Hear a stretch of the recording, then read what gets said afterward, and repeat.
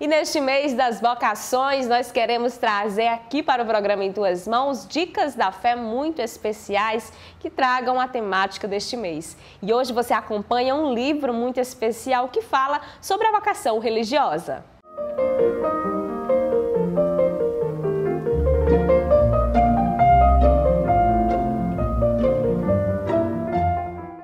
Muito bom dia, meu irmão, minha irmã que já acompanha o programa Em Tuas Mãos, um programa bem recheado, cheio de informações bacanas para você alimentar sua vida cristã.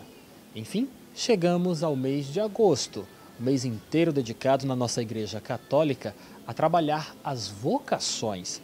Mas é claro que todos nós sabemos que existem vocações de todos os tipos, não apenas a religiosa.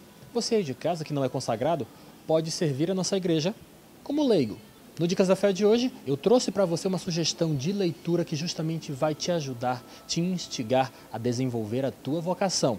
Nós estamos falando deste livro, Vida Religiosa Consagrada em Processos de Transformação. Nesta obra, Vida Religiosa em Processo de Transformação, a equipe interdisciplinar de assessoria à Conferência dos Religiosos do Brasil, CRB, procura examinar com realismo o que está acontecendo, interpretando os sinais dos tempos, movida por um olhar de fé cristã que busca ver mais longe.